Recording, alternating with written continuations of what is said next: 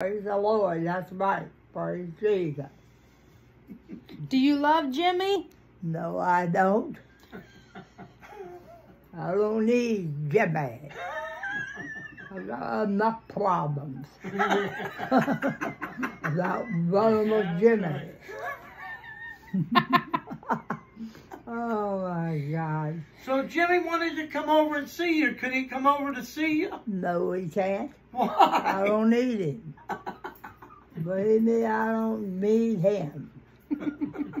You only need Jesus, huh? That's right. That's all I need is Jesus.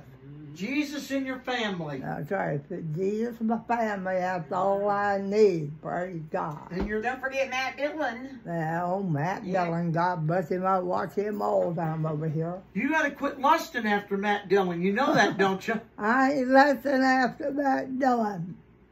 You know what can happen if you lust after that Dillon? What?